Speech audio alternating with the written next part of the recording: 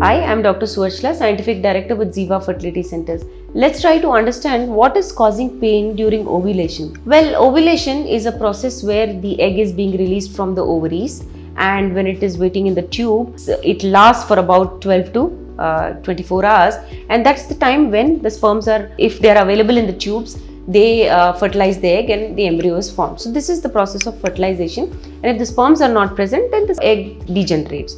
Now this usually occurs 15 days before your period. So that's the usual time for every woman to have the ovulation. Once she has the ovulation, 15 days later, she has her period. So that's basically the procedure. Now you have to understand the signs and symptoms. Every woman, well actually most women will be showing signs and symptoms. There could be uh, swelling in breast, there could be soreness in breast, there could be uh, body pains, there could be you know cramps in the leg. There could be signs and symptoms that your body is trying to show just before or during ovulation. These are good indications that you're ovulating and for those trying for pregnancy, it's a good time to have intercourse to, uh, to conceive. So uh, these are the signs and symptoms of ovulation and we usually call them as premenstrual syndrome. So it's usually happening uh, just at the time of ovulation or before the periods.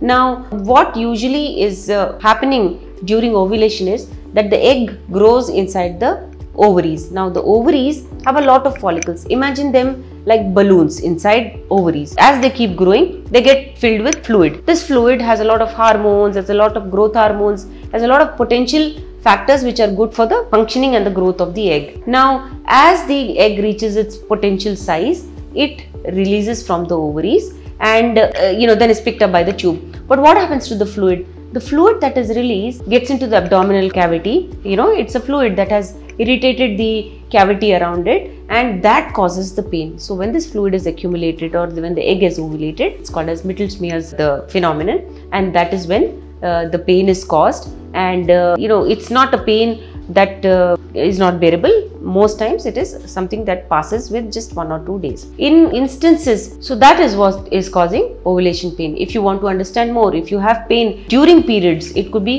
other reasons such as endometriosis and depending on the stage the pain also the severity also varies if you want to understand more if you want to understand when your ovulation is based on your period chart please feel free to contact us. Thank you. A lot of effort has gone into making this video. Please like and subscribe us. Thank you.